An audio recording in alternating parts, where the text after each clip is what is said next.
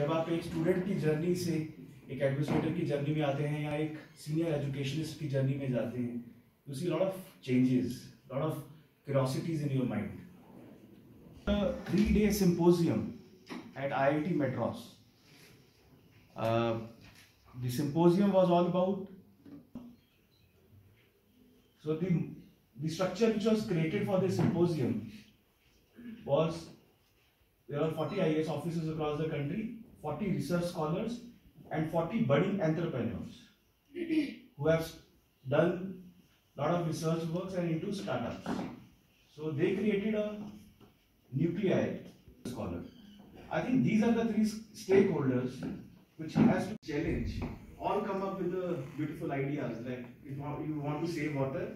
आप drip irrigation या ये वाला सेट इंट्रोड्यूस करवा दें वहाँ पे